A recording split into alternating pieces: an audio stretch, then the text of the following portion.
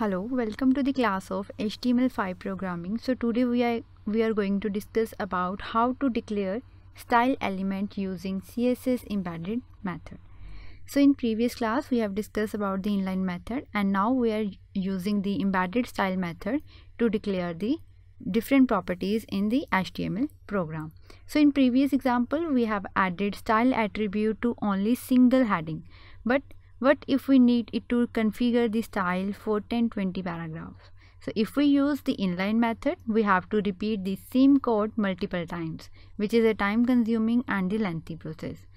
So the solution for this problem is by using the embedded css method. So in embedded css method we are using the style element to declare the different properties or different color properties. So here in this program i am using the embedded css embedded style so there is a change in this head section and the body section is same declared as same like in the previous uh, previous classes. But in inline method we are making the changes in this body section. Here we are using the style attribute. But now in this embedded method here we are using the style as the element so in head section we have to declare this style element. This is style opening tag and this one is the closing tag. And in between this uh, style tag we have to declare the color property or the different properties. So here i am using the color property for the body section. So this body section here i am using the background color and this for the foreground color. So background color is declared as the these are the hexadecimal value for the different color. So background color is declared in the dark salmon color and the foreground color is declared as the dark red color. So this style attribute must be located in the head section.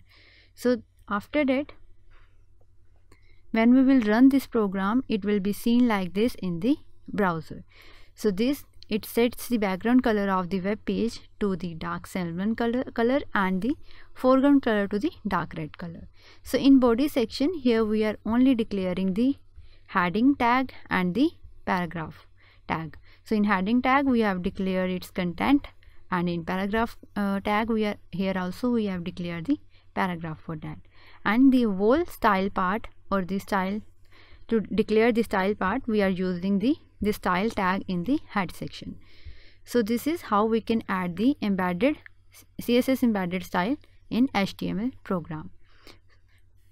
So the styles are in fact for the entire web page document because they were applied to the body tag using the body element selector.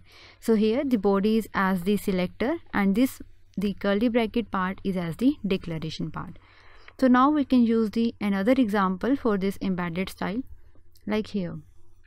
So this is a program where we are using a loads of code to make a large website.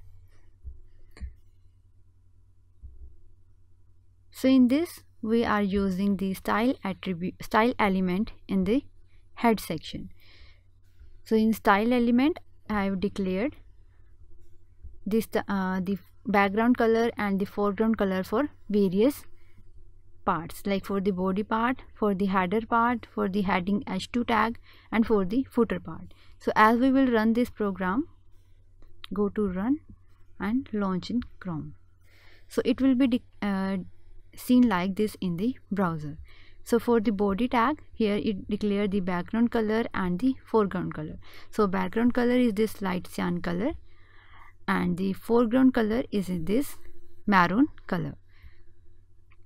After that it's setting the header header color properties. For header it will changes the appearance of this heading tag that is telcoma global. So it will be appear like this.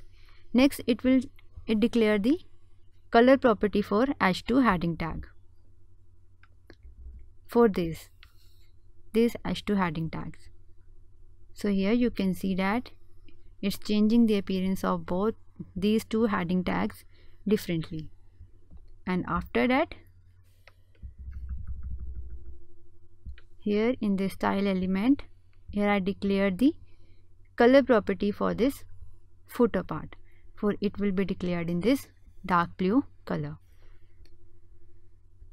So so this is all about the how to declare the uh, how to declare the style element in css embedded method. Thank you